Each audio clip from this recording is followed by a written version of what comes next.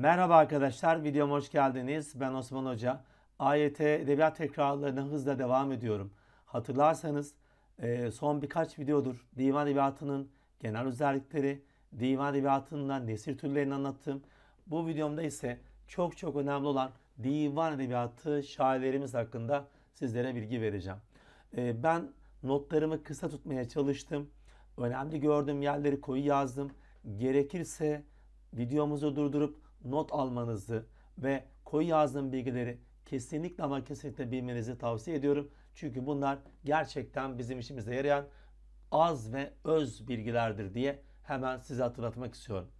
Ee, öncelikle divan edebiyatının dikkat ederseniz bir anlamda kurucusu sayılan diye bir ifade kullanmışız. Yani e, şöyle bilmemizde yarar var.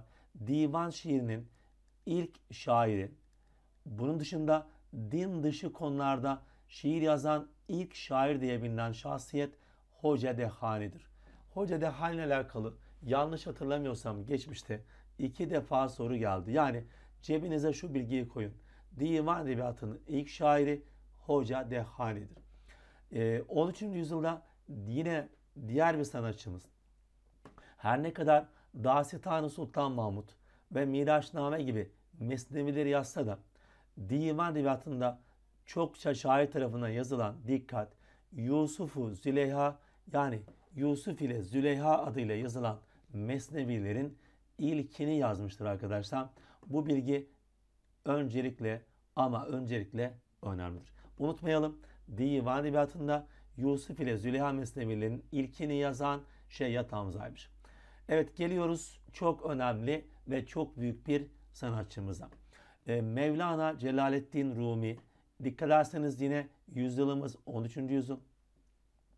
E, Mevlana dendiği zaman dikkat edelim ilahi aşk aklımıza gelecek. Ve yine şu söz ona aittir. Ne olursan ol yine gel. E, özellikle burada bu bölümde biraz durmakta yarar var. Mevlana dini tasavvufi Türk Edebiyatı'nın en büyük ve en güçlü şairidir. Bakın e, tekke edebiyatında en büyük şairimiz Yunus Emre olacak halk edebiyatında. Ama Mevlana dini tasavvufi Türk Edebiyatı dendiği zaman o kapsayıcı başlıkta zirve olan şairimizdir. Bunu kesinlikle unutmayalım. Peki Mevlana'yı büyük kılan nedir? Ee, gerçekten yüzyıllar boyu sevilmesinin sebebi nedir derseniz arkadaşlar. Bir defa insanlarda dil, din, ırk ayrımı yapmaksızın herkesi kucaklamış. Ee, işte bin kere tövbe etsen de yine gel demiş. Yani ne olursan ol yine gel diyerek aslında bir anlamda sevgi, aşk ve hoşgörü dini veya yorumuyla ne yapıyor? Ee, sadece edebi anlamda değil, e, dinsel anlamda da çok e, önemli e, bir misyon edinmiş ve bugün hala sevilen bir şahsiyet olmuştur. Peki o zaman burada söylediğimiz bilginin altını çiziyorum.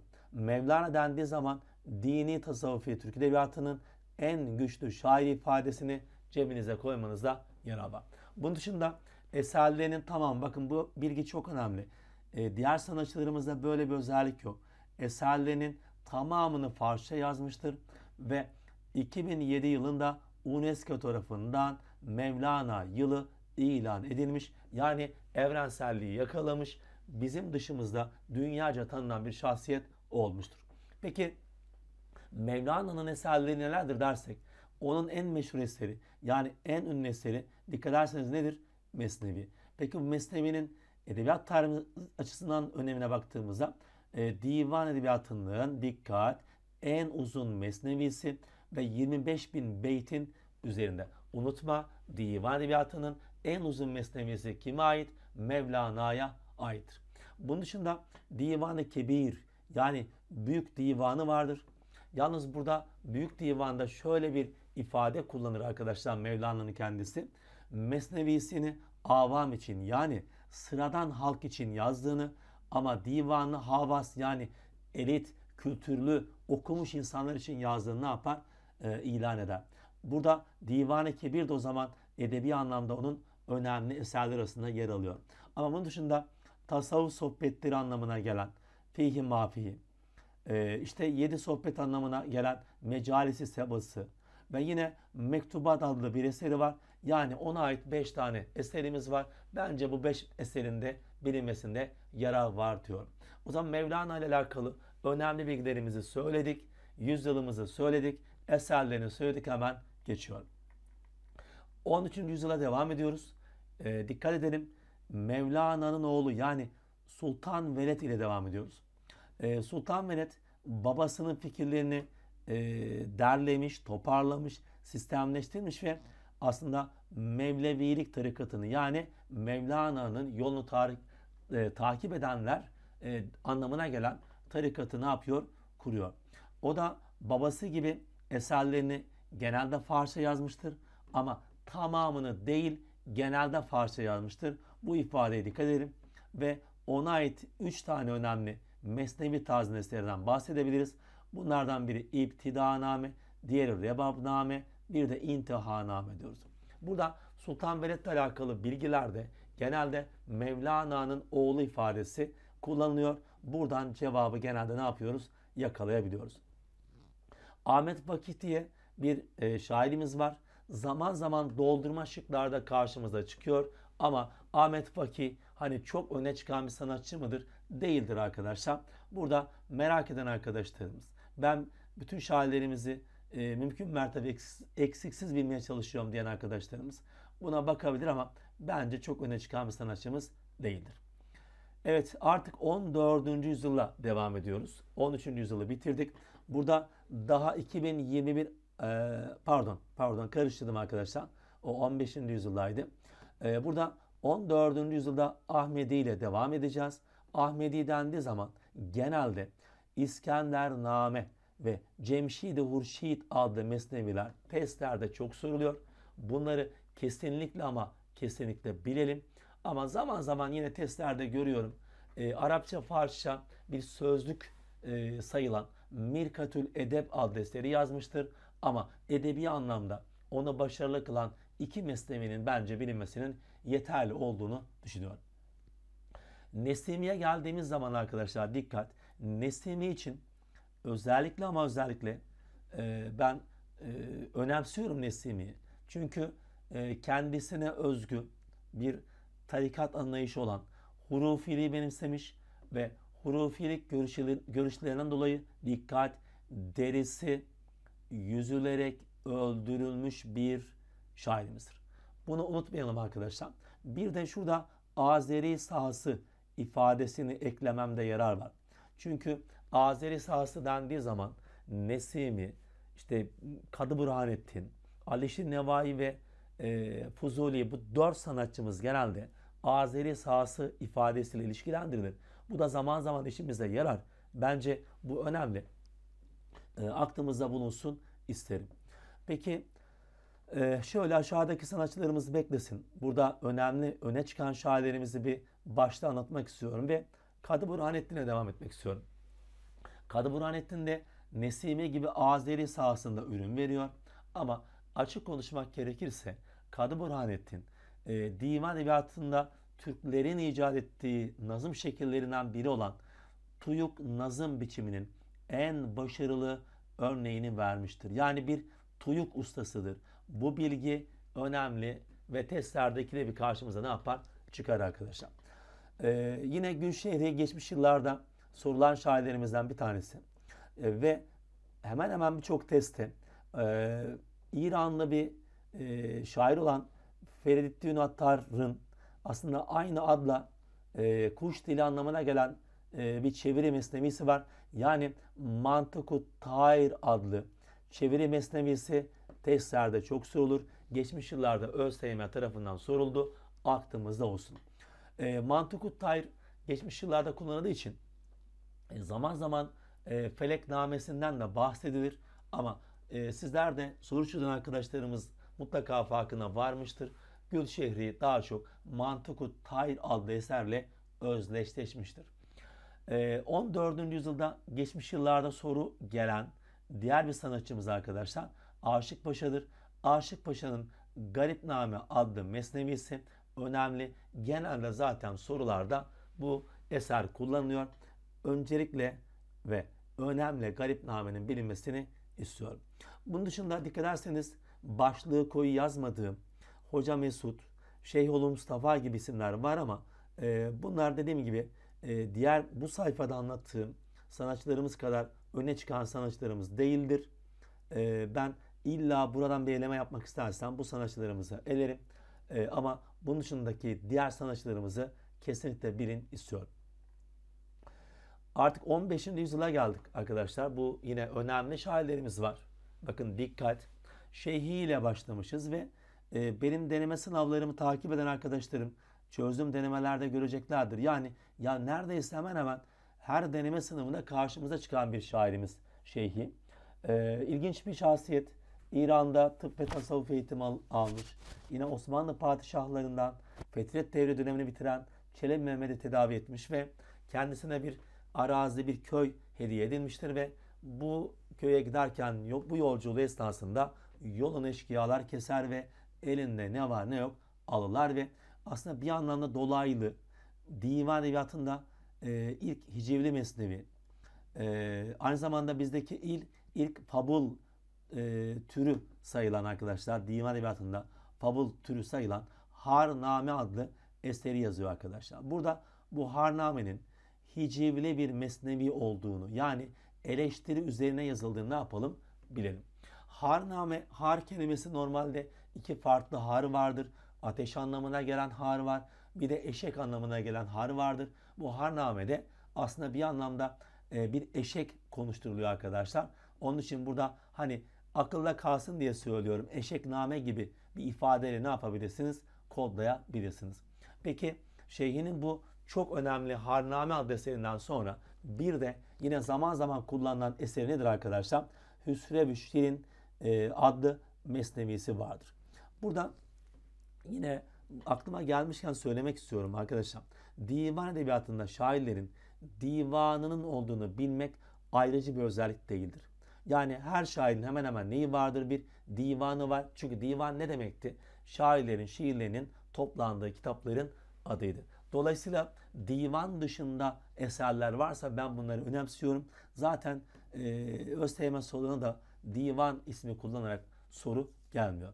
Peki e, Süleyman Çelebi yani önemsediğimiz önemli şairlerimizden bir tanesi. Neden? Genelde yine deneme sınavlarında çokça karşılaştığımız bir şairimiz. E, divan edebiyatının en güzel mevlidi arkadaşlar. Dikkat. Nerede bu? Nerede? Bu edebiyatta yani divan şiirinde dikkat neymiş? En güzel mevlit olan ama asıl adı Vesiletün Necat diye bilinen eserin şairi bu eseri mevlit kavramını mutlaka bilin istiyorum arkadaşlar. Peki 2021 e, ayeti yani daha bu sene en son sınavda gelen bir şairimiz Ahmet Paşa. Ahmet Paşa dendiği zaman bir defa Fatih ile ilişkilendirilir. Yani Fatih'in yani Fatih Sultan Mehmet'in hocası sohbet arkadaşı. Yine özellikle Kerem Redifli bir kaside ile ölümden kurtulduğu anlatılır. Nitekim bu sene sınav sorusunu inceleyen arkadaşlarımız göreceklerdir. Orada Kerem Redifli kaside yani e, bu buraya dayalı bilgi bir ifade kullanılmıştı. Bunun dışında nazirecilik e, geleneğini başlatmış diye zaman zaman testlerde kullanılır ama tabii çok da kullanılan bilgi midir? Değildir. Onu da kabul etmekte yarar var. Peki e, biraz önce e, Şeyhoğlu Mustafa gibi hani e, çok öne çıkartmadığım hani öğrenmek isteyen arkadaşlarımız kendileri öğrensin diye atladığım şairlerimiz vardı hatırlarsanız. E, burada da yine Ahmet Dahi zaman zaman testlerde çenk namesiyle falan çıkabiliyor. Ama tabii ki de ÖSYM sorularına e, göre baktığımız zaman biraz detay kalıyor. Bunu kabul etmek gerekiyor. 15. yüzyılda yine çok önemli 3 tane şairimizi bu sayfama aldım. E, Alişir Nevai ismi çok önemli. E, Alişir Nevai dendiği zaman Çağatay Edebiyatı'nın zirvesi. Bakın burası önemli. Çağatay demek bizim bir anlamda dikkat unutmayın Azeri sahası e, diye bildiğimiz alanda zirve e, ve özellikle bu e, Azerbaycan, bugünkü Azerbaycan bölgesi, Bağdat'a yakın bölgeler e, Azeri sahası diye geçiyor. Burada en zirve şair kabul edilen, üstad kabul edilen bir şairdir. Peki Alişin Nevai büyük yapan en önemli özellikler nelerdir? Bir, bir defa Farsçanın çok revaçta olduğu, rağbet gördüğü dönemde dikkat, Türkçenin zenginliğini belgelemek. Ee, aslında bir anlamda Türkçenin Farsçadan üstün olduğunu ispatlamak için bakın unutmayın neymiş Türkçenin Farsçadan üstün olduğunu e, göstermeye çalıştığı Muhakemetül Lugateyn adlı eserin sahibi arkadaşlarım bu çok kıymetli bilgi aklınızda olsun. Bunun dışında e, biliyorsunuz 5 mesnevinin toplandığı kitaplara biz ne diyoruz? Hamse diyoruz. E, nitekim Alişin Nevai Divan Edebiyatı'nda unutma ilk Hamse sahibi şair çok önemli. Ve yine şairlerin hayatlarını anlatan bugünkü biyografik eserlerin karşılığı olan ilk şairler tezkiresi Mecalisün Nefais yine nedir arkadaşlar? Alişir Nevai'ye ait aklımızda olsun. Bir de burada tuyuk nazım biçimini geliştirmiş ifadesi geçiyor.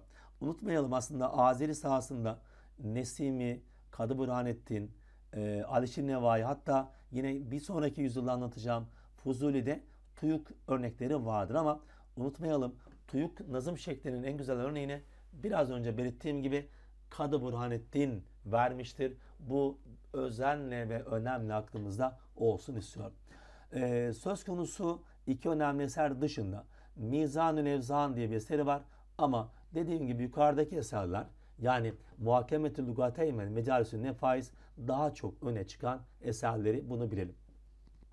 Necati özellikle bir yönüyle bence çok önemli bir e, şairimiz. Neden?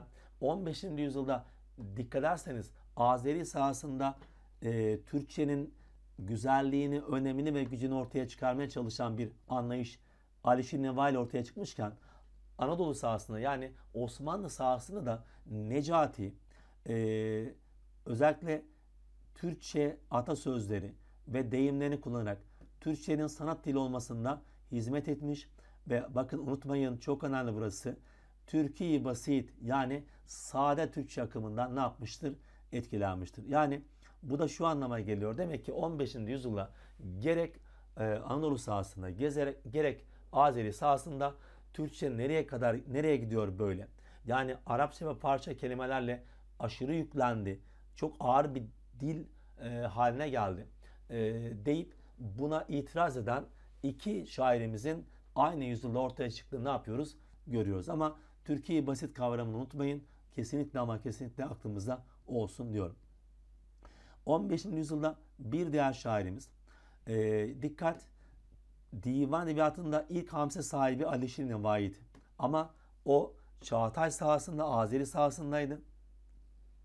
Anadolu sahasında yani Osmanlı sahasında ilk hamse ise kime aitmiş arkadaşlar? Hamdullah Hamdi'ye ait.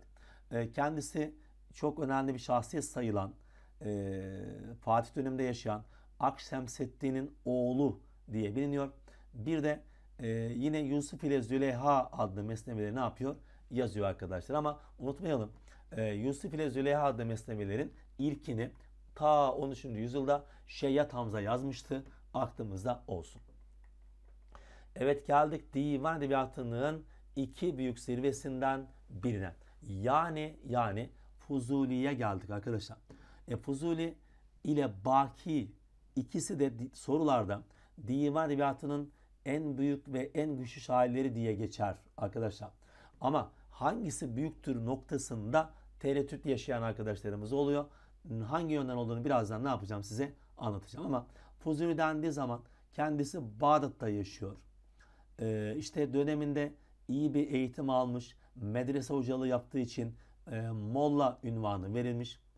E, işte divan edebiyatında gazel ustası ama aşıkane gazel tarzının en güzel örneklerini veriyor. Yani unutmayalım aşıkane gazel ifadesi Fuzuli ile alakalı bir bilgidir. Peki Fuzuli ile alakalı biz özellikle dikkat şu bilgiye hakim olmalıyız. E, soyut aşkta zirve. Zaten anlatmıştık hatırlarsanız genel özelliklerde divan edebiyatında soyut aşk anlayışı vardı. Burada anlatılan sevgililer gerçek hayatta karşımıza çıkmayacak sevgililerdi. E bir de Fuzuli'de şöyle bir özellik var. e, zaten o soyut olan beşeri aşkla yetinmiyor. Beşeri aşktan ilahi aşk mertebesine yükselen bir şairimiz. Dolayısıyla biz onu ne yapıyoruz o zaman? Divan edebiyatının bakın dikkat divan edebiyatının en duygusal şairi bakın unutma neymiş? En duygusal şairi diyebiliyoruz. Ee, sanırım notlarımda e, yazmamışım ya da ben görmüyorum. Fuzuli dendiği zaman şunu cebinizde koyun arkadaşlar. Bu şairimiz aşk ve nedir? Ee, ızdırap şairidir. Bunu cebine koy. Peki bu buradaki ızdırap, buradaki e, acının sebebi ne arkadaşlar? Bir anlamda ayrılık acısı çekmek ama yine bu çekilen ayrılık acısından duyulan bir haz var. Yani acıdan haz alıyorlar arkadaşlar. İşte bu anlamda Fuzuli divan edebiyatında ve soyut aşkta zirve bir şairimizdir. Bu yönüyle onun kendisini ne yapacağız? Bileceğiz. Ee, yine bizde ilk edebi mektup sayılan Şikayetname adlı Mesnevi tarzında ünlü mektubunda devrin yöneticilerini eleştirmiştir. Arkadaşlar bunun özel bir sebebi var. Osmanlı'nın Bağdat seferi esnasında bir paşa ile tanışır ve kendisine bir maaş vaat edilir. Ama maalesef kendisine bu maaş gelmez. Ee, ve bundan dolayı da zaten yoksulluk sıkıntı çekmektedir. Ee, bu şikayetnameyi ne yapar? Yazar. Ee, yine divan edebiyatında peygamberimizi öven naat türüne bakın dikkat. En ünlü naatı yazan şairimizdir ve su kasidesi de dikkat en önemli ve en güzel divan edebiyatı naatı sayılıyor. Bunu bilmenizi yine tavsiye ediyorum. Bunun dışında e, birçok Leyla ile Mecnun Mesnevisi yazan vardır ama e, özellikle divan edebiyatında en güzel Leyla ile Mecnun Mesnevisini yazmıştır. Bunu cebinize mutlaka ama mutlaka koyun isterim. Ee, yine hiçbir divan şairinde olmayan bir özelliği taşıyor kendisi. Ee, Türkçe, Arapça ve Farsça olmak üzere üç farklı divanı, üç farklı dilde divanı olan tek şair arkadaşlar. Bu kesinlikle ama kesinlikle bilinsin istiyorum. Ee, yine ona ait e, bir birkaç söz var. Ee, zaman zaman sorularda geliyor. Ee, bir dönem e, diyor ki ilimsiz şiir olmayacağını söyler. Yani ilimsiz şiir balkonsuz eve benzer diyor. E, ama ilerleyen zamanda ilimin veya bilginin yeterli olmadığını e, ve devamında ilim bir kıyrık halimiş, aşk imiş her ne varsa alemde deyip yani ilimin aslında e, bir anlamda kuru ve boş bir çaba olduğunu, gerçek anlamda aşkın insanı mutluluğa eriştirdiğini, yücelttiğini anlatan e, bir şairimiz ki zaten biraz önce söylemiştik. Beşeri yaştan ilahi aşka geçen bir şairimiz olduğundan bahsetmiştik. Peki e, söz konusu şikayetname, su kasidesi ve Leyla ile Mecnun Mesnevisi dışında e, önemli eserlerinden bazıları Kerbela olayın anlatı, Hadikatü Suada, yine Mesnevi tarzında yazmış olduğu Bengü Bade ve yine bir de yine Sıhhatü Maraz diye yazmış olduğu bir başka eseri var diyoruz. Evet Fuzuli hakkında e, bu bilgilerden sonra Fuzuli ile genelde mukayese edilen e, yine divan edebiyatında zirve sayılan bir şairimiz Baki ile yolumuza devam ediyoruz. E, dikkat ne demişiz burada? Divan edebiyatının en güçlü şairlerinden biri ki en güçlü şairlerden diğeri Fuzuli'ydi. E, eğer ona denk bir şairden bahsedeceksek bu mutlaka kim olacaktır? Baki olacaktır. Peki Baki de Fuzuli gibi gazel ustası arkadaşlar. İkisi de gazel ustası unutma. E, yalnız Fuzuli'de aşıkane gazel vardı. Hatırlarsanız Baki'de rindane gazel var. Yani şöyle değerlendirelim. Rindane demek daha çok e, dünyevi bakan.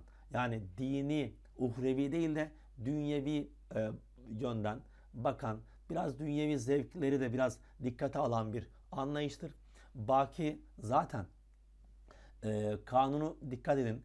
Kanuni Sultan Süleyman'ın yani Osmanlı'nın o muhteşem yüzyılı diye tabir edilen dönemde en zirve padişah sayılan Kanuni Sultan Süleyman'ın sohbet arkadaşıdır.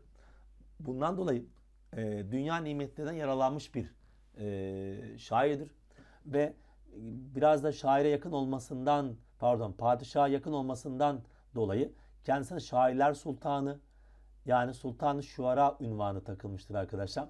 Genelde bu bilgi, bu ifade testlerde ne yapıyor? Karşımıza çıkabiliyor.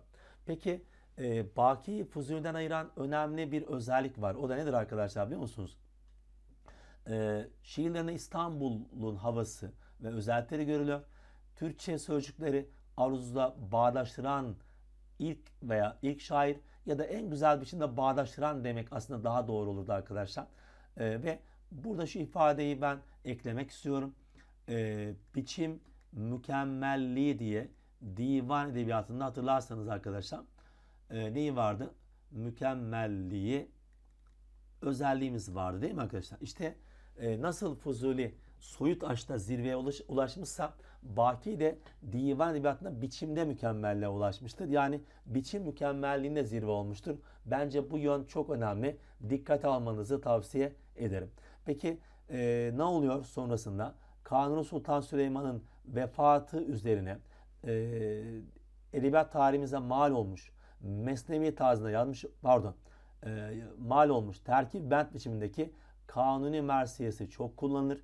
Testlerde aklımızda olsun. Bir de Baki Fuzuli'den farklı olarak nasıl uhrevi, dini, tasavvufi değil de dünyevi bakıyorsa hayata, nasıl soyut aştan ziyade biçimsel bakıyorsa, bir de mesnevi yazmamış bir şair olması yönüyle Fuzuli'den ne yapıyor? Ayrılıyor. 16. yüzyılda yine önemli bir şairimiz Bağdat Ruhi diyoruz. Arkadaşlar Bağdat Ruhi'de hiç uzatmaya gerek yok. Kendisi divan edebiyatının genel özelliğinin aksine e, toplumcu anlayışı ilk defa getiren ve terkip bent nazım biçiminin e, en güzel örneklerini veren şahsiyettir. Burada e, bakın şu bilgileri unutmayalım. E, mesela Mesnevi'de en uzun olan e, Mevlana'ydı. E, Tuyuk'ta usta olan Kadı Burhanettin'di. E, Mevlüt'te usta olan Süleyman Çelebi'yi gördük hatırlarsanız. E, şimdi de gazel ustaları var. Fuzuli ve Baki terkip bent ustası olarak da kimi kodlayalım? Bağdat Ruhi'yi kodladık. Hemen geçiyorum. 16. yüzyılda birkaç şaire daha. Ee, Taşlılı Yahya e, isminden bahsetmek istiyorum. Kendisi Şehzade Mustafa'nın gözdesidir ama biliyorsunuz Şehzade Mustafa tahta geçemez, öldürülür. Ee, belki de e, Şehzade Mustafa padişah olsaydı e, Taşlı, Taşlılı Yahya bir baki gibi ünlenebilirdi. Daha büyük şair olabilirdi ama e, bu nimeti kavuşamamış çünkü zaten e, takip ettiği şehzade ne oluyor? E, idam ettiriliyor, öldürülüyor. Peki Taşlılı Yahya'da ben ne bilmem lazım? E, biraz önce bahsettiğimiz Alişir Nevai'de hani ilk hamse sahibi falan demiştik hatırlarsanız arkadaşlar. E, yine 5 meslevinin toplandığı bir hamse sahibi ve bu hamse içerisinde 5 mesleviden biri yani Yusuf ile Züleyha adlı mesnevilerinin en güzelini yazıyor. Peki burada hatırlarsanız yine dönüyorum geçmişe. 13. yüzyılda Yusuf ile Züleyha adlı mesnevilerin ilkini yazan Şeyh Hamza vardı. Ama bu bu tür bu isimle anılan e, mesnevilerin en güzelini kim yazmış arkadaşlar? Tahşidalı Yahya yazmış. Bence burası yani en güzel ifadesi Tahşidalı Yahya için yeterli bilgidir. Bunun dışında hayali, zati ve güvahi gibi şairlerimiz çok nadiren testlerde karşımıza çıkar. ÖSYM bu şairlere hiç bulaşmadı. Ben de bulaşmıyorum ama hocam benim için rahat etmiyor diyen detaycı arkadaşlarımız varsa yine bunları not edebilirsiniz. Peki geliyorum yine 17. yüzyılda iki büyük ve sürekli hemen hemen her denemede bir şekilde birinin e, karşımıza çıktığını görüyoruz. Bunlardan birisi Nefi, bir diğeri Nabi arkadaşlar. Nefi dendiği zaman unutmayalım. Biz hicivleriyle ünlü şair diyebiliyoruz arkadaşlar. Yalnız burada sanırım notlarımda geçmiyor. E, nefi dendiği zaman biz şu ifadeyi bilelim. Kaside ustası diye bilin. E, bu kasidelerinde e, hem övgü hem yergide e, aşırıya giden yani övdüğünü çok göklere çıkaran, yerdiğini yerin dibine batıran bir şair ama işte yerdiği yani e, eleştirdiği hicivli mesnevileriyle ne yapıyor? Nefi'yi tanıyor. E, ve devamında zaten dikkat ederseniz övgüde ve yergide aşırı, aşırıya gitmiş. Sadrazam Bayram Paşa'ya yönelik eleştirilerinden dolayı ne oluyor? Boğdurularak öldürülüyor. Yani biz Nefi'yi o zaman neyle kodluyoruz? Hiciv ustası hatta hicivlerinden dolayı bedel ödemiş, öldürülmüş bir şair diye ne yapacağız? Bileceğiz. O zaman Sihamı Kaza yani onun yine e, hicivlerin toplandığı bir eser. Bu eserin mutlaka ama mutlaka bilmesini tavsiye ediyorum. Bir de Baki'ye benzeyen bir özelliği var. Hiç mesnevi yazmamış. Zaman zaman hiç mesnevi yazmayan şairlerimizde Nefi ismi de karşımıza çıkabiliyor. Ee, Nabi'ye gelelim. Nabi yakın dönemde yine sorulmuş kişilerden bir tanesiydi. Nabi dendiği zaman didaktik şiir ifadesini kodla kardeşim. Bakın unutma. Didaktik şiir ifadesi geçiyorsa bunun cevabı büyük ihtimalle ne olacak? Nabi olacaktır. Koy kardeşim cebine. Bunu çok kullanacaksın. Aklında olsun. Peki Hikebi şiir şiirini açmış ki birazdan diğer sayfamda bu şiir tarzından bahsedeceğiz. Ee, en önemli eseri Hayriye. Ee, yine diğer eseri Hayrabat. Bu Hayriye ve Hayrabat e, bu şairimizin iki mesnevisi. Bir de Gezi türünde yazmış olduğu Tuhfetül Harameyn adlı bir de diğer üçüncü eseri var. Bu üç eserin mutlaka ama mutlaka bilinmesini tavsiye ediyorum arkadaşlar. Peki o zaman geçelim diğer sayfamıza. Biraz önce Nabi'de bahsettiğimiz Hikemi şiir çığırını açtığından bahsetmiştik. Hikemi deyince aklımıza arkadaşlar şu kelime gelsin.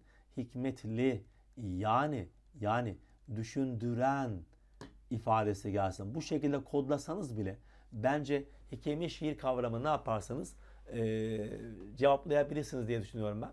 E, ve burada hikemi şiirde düşünceye ağırlık veren, işte okuyucuyu uyarmak, aydınlatmak. Yani bir anlamda hani demiştik ya Nabi'de didaktik şiir öne çıkıyor diye.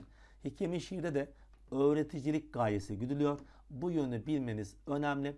E, çünkü bu e, sadece hikemi şiir kavramı da bazen testlerde karşımıza çıkabiliyor. Bu bilinsin. E, Naili ve dikkat edin arkadaşlar Neşati. Ben bu şairleri e, buraya koydum.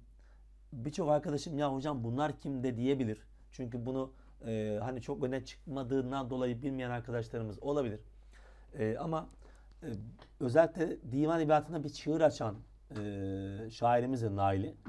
E, nasıl Nabi Hikemi şiir şiirini açmışsa Naili de Sepki Hindi akımı diye bir akım var.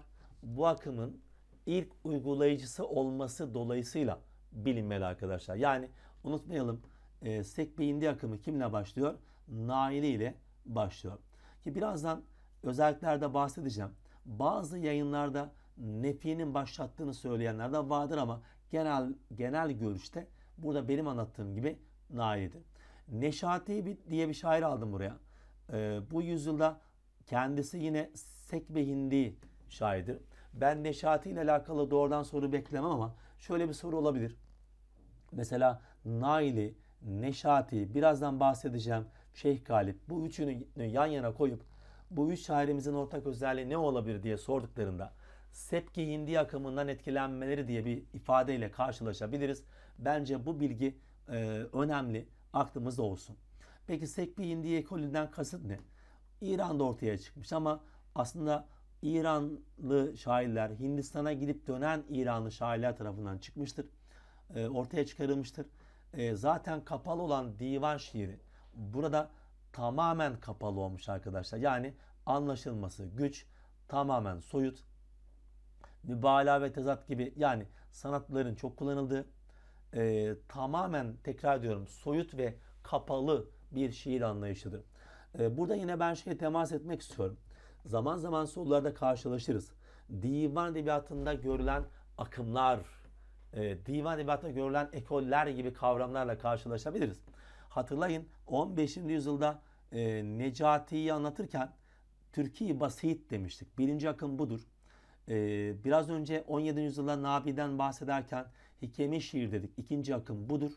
Bir de üçüncü akım Sepke indiği akımı, ekolü. Bence bunları küçük küçük notlarla bilin arkadaşlar. İşimize yarayacaktır. E, aklımızda olsun. E, aşağıda bakın şu not yine dikkat çekmek istiyorum nota. İlk izlerini biz Nefi'de görsek de asıl Naili ve sonrasında Neşati gibi bazı şairleri etkilemiş diye ne yapmışız zaten? Yine aynı bilgileri not düşmüşüz. 17. yüzyılda yine bahsedeceğim e, birkaç sanatçımız var. E, Şeyhülislam Yahya. Şeyhülislam Yahya e, bilgisinde şu geçer genelde. 16. yüzyıldaki Baki ve 18. yüzyıldaki Nedim arasında köprü özelliği gösterir. Peki köprü özelliği derken hangi yönden? İstanbul Türkçesini başarıyla kullanmaları ve Arzu Türkçe'ye başarıyla uygulamaları şeklinde bir birliktelik söylenebilir kendileriyle alakalı. Ee, yine özellikle gerek 15. yüzyıldaki Necati, gerek Baki, gerek Şeyhülislam'la alakalı mahallileşme kavramı kullanılsa da e, ben e, birazdan bahsedeceğim. E, Nedim'le alakalı daha çok kullanılır bu kavram. Bu şairlerimiz için gündeme getirmek istemiyorum. Peki Azmi Zade Aleti önemli şairlerimizden bir tanesi neden önemli? Çünkü bu şairimiz e, Rubai diye bir nazım biçimimiz var divan edebiyatında. Rubai türünün en usta temsilcisi sayılmış. Yani divan şairlerinden bahsediliyor ve Rubai yazdığından bahsediliyorsa bunun cevabı kesinlikle ama kesinlikle ne olacak? Azmi Zade Haleti olacak. Bu bilgiyi bilmek bence yeterlidir. Bunun dışında Cevri yani çok önemli değil benim nazarımda. Nevizade Atay'ı bazen e, hangi şairlerin hamsesi yoktur diye soru geliyor. Şıklarda ismi geçebiliyor Nevizade Atay'ın. Yani hamses şair, sahibi bir şair olduğunu bilelim arkadaşlar ama doğrudan ben olacağını beklemiyorum. Geldik 18'e. 18. yüzyılda Nedim yani çok önemli. Hemen hemen e, her denemede yine bir şekilde bulaşan ya Nedim ya Şeyh Galip'in çıktığı ne yapıyoruz bu yüzyıllara ait görüyoruz. Peki Nedim dendiği zaman ne olacak? Lale devri şairidir kendisi e, ve Lale devri İstanbul'un yansıtan zevk ve sefa alemlerini e, sarayda bizzat yaşayan ve bunları şiirlerinde yansıtan bir kişi arkadaşlar kendisi. E, ve yine şöyle bilmek lazım. E, Nedim her ne kadar divan şairi olsa da e, onun sevgileri somut ve canlı sevgili arkadaşlar. Bu da onun halk şiirine yakınlık duyduğunu hatta heceyle bir türkü yazdığını biliyoruz. E, aslında bir anlamda nedir halk edebiyatına yaklaştığını, e, somut aşk e, anlayışını benimsediğini görüyoruz. Peki bunun dışında e, mahallileşmenin öncüsü ve unutma şarkı nazım biçiminin en güzel örneklerini vermesi.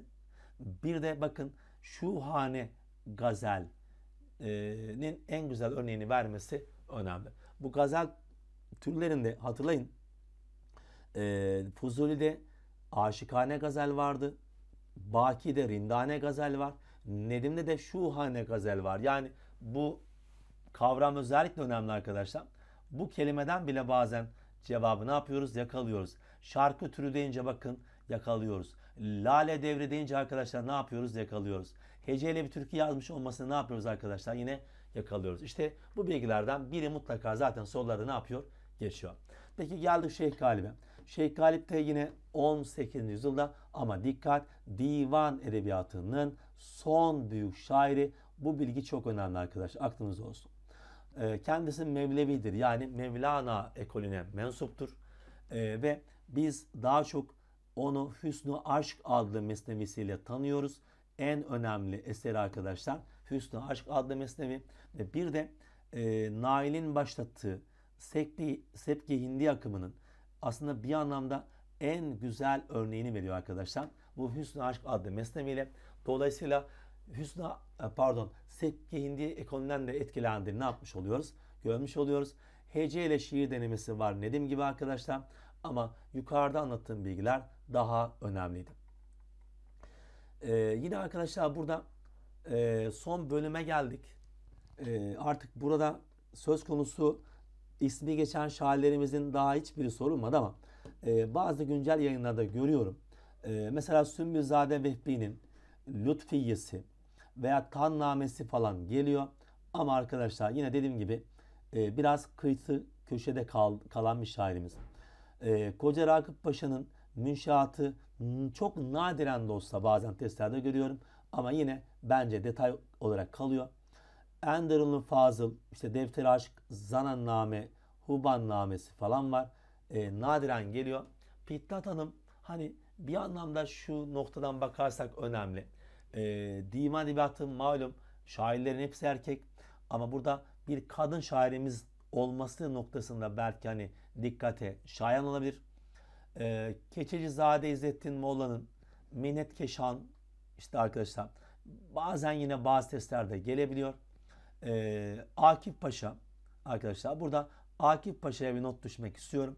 19. yüzyıl şairlerimizden. E, tanzimat sürecinde şöyle bir bilgiyle karşılaşacaksınız. E, eski nazım biçimleriyle yeni fikirler söylediklerinden bahsedeceğiz. Hatırlarsanız kasidede din veya devlet büyükleri övülürdü. Ama burada şairimiz bakın ne övüyor? Kaside-i Adem yani yokluk kasidesi. Yani yokluğu övüyor. Bu da aslında tanzimata giden bir yolun yavaş yavaş açıldığını bize ne yapıyor? Gösteriyor. Ama son sayfamızda bahsettiğim şairlerimizden soru ben hani beklemiyorum yani açık konuşmak gerekirse ama hani bunun garantisini biz veremiyoruz. Yine şöyle bir göz atmanızda zaman zaman tekrar ederken bunlara da bakmanızda yarar var. Hani olur da karşımıza çıkarsa e, zaten bir göz aşinalı olur. Ya bu bölümden şu şairdi o zaten deyip belki cevabı bulabiliriz diyorum. E, ve e, şairlerimizi bu şekilde tamamlıyorum. E, özellikle başta söylediğim gibi koyu yazılan e, bilgilerimizi not alırsanız sadece bunlara şöyle güzelce bir e, bakıp bunları ezberlerseniz e, bence divan şairlerinden soru kaçırmayacaksınız diye düşünüyorum. E, bundan sonraki videomda divan edebiyatı yazarlarından yani nesilcilerinden bahsedeceğim. O videomda görüşmek üzere. Hepiniz kendinize iyi bakın. Kanalıma abone olmayan arkadaşlarımız olursa sevinirim. Kolay gelsin.